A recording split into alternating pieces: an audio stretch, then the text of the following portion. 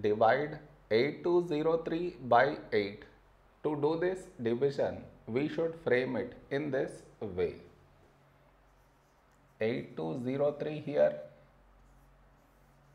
8 here. This is your step 1. Next, here we have 8 and here 8. When do we get 8 in 8 table? 8 ones 8. Now we should subtract, we get 0.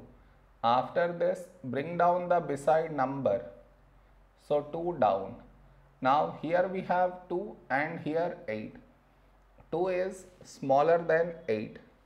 So we should bring down the second number. And the rule to bring down second number is put 0 here. Then only we can bring this number down. So 20. A number close to 20 in 8 table is 8 to 16. Now we subtract, we get 4.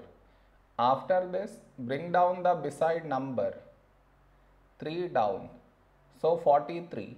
A number close to 43 in 8 table is 8 5s 40. Now we subtract, we get 3 no more numbers to bring it down. So we stop here. This is our remainder and this is our quotient